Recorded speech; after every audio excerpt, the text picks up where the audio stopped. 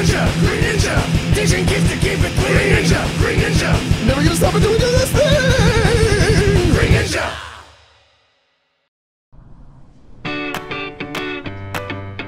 So excited for our first day at the Green Ninja Academy.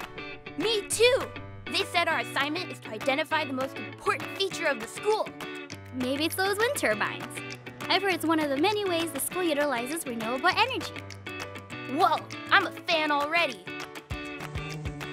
Well, I'll be. Who are you? I'm Beatrice. Are you the new students? Yeah! I'm Andy.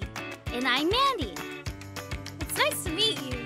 Let's make a beeline inside.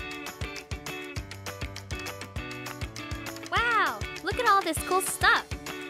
I'm warming up to this place already. It's probably because of the R60 insulation we use. Whatever it is, it's working. It's not pronounced a bear. My name's Barry.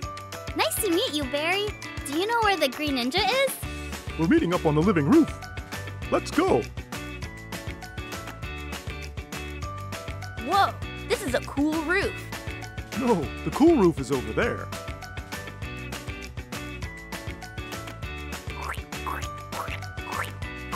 Howdy, fellers. What's that?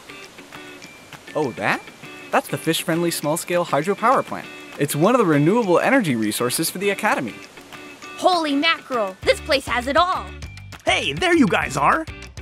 Well, I'm glad you had a chance to meet some of the gang and look around. Have you figured out what the most important feature of our academy is yet? Is it the solar arrays? The wind turbines? The organic gardens? All of those are great, but the most important thing is right here. The solar pizza oven? Look closer. The most important thing is you.